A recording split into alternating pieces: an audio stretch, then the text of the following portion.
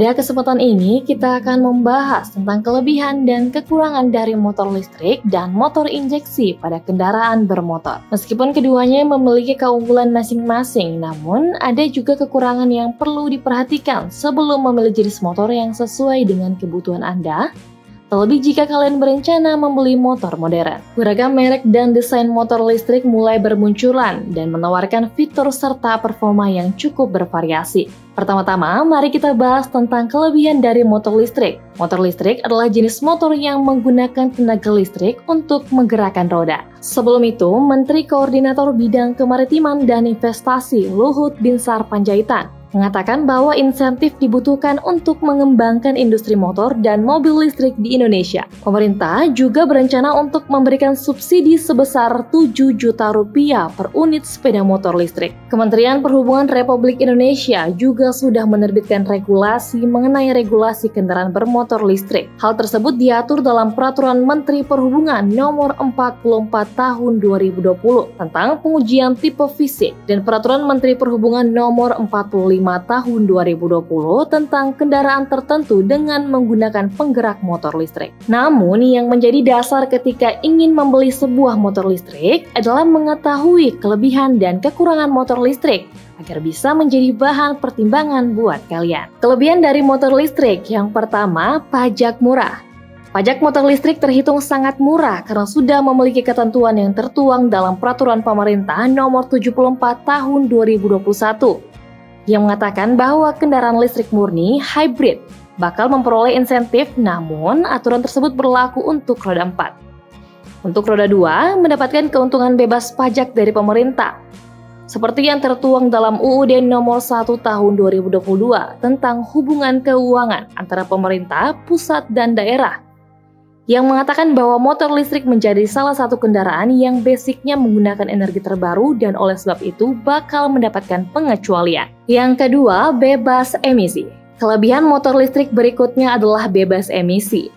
Karena motor listrik bergerak menggunakan daya baterai untuk kekuatan penggerak utamanya. Karena tidak terjadi pembakaran saat motor dihidupkan, maka hal tersebut bakal mendukung lingkungan jadi lebih fresh dan bebas asap knalpot. Yang ketiga, anti berisik. Kelebihan selanjutnya jika kalian punya motor listrik adalah tidak mengeluarkan suara yang bising alias hening. Suara yang dikeluarkan dari motor listrik tidak lain hanyalah bunyi ban dan penggerak motor saja. Hal tersebut tentu tidak mengganggu kenyamanan lingkungan kalian.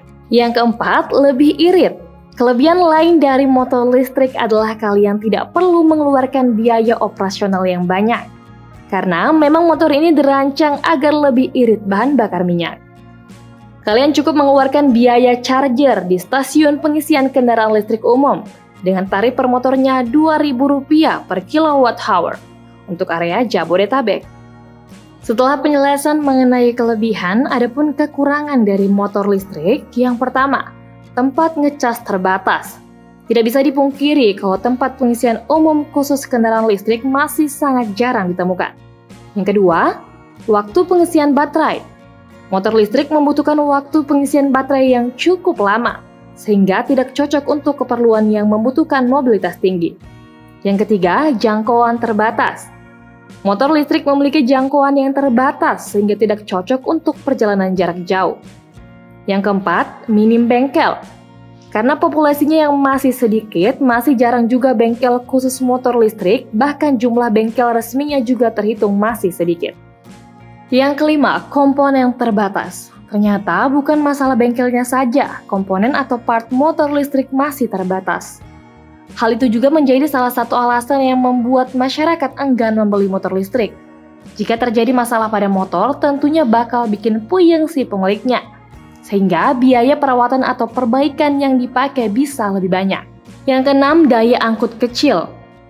Motor listrik sendiri tidak disarankan digunakan untuk membawa beban terlalu berat. Tentunya, jika semakin berat beban yang dibawa, maka akan semakin boros juga baterainya. Untuk bobot normal saja, kecepatan yang bisa ditempuh maksimal adalah 70 km, dan saat membawa beban berat hanya bisa mencapai 50 km. Itulah beberapa kelebihan dan kekurangan dari motor listrik dan motor injeksi. Sebelum membeli jenis motor yang sesuai dengan kebutuhan Anda, perhatikan baik-baik faktor-faktor tersebut agar Anda dapat memilih motor yang paling sesuai dengan kebutuhan dan kondisi lingkungan sekitar.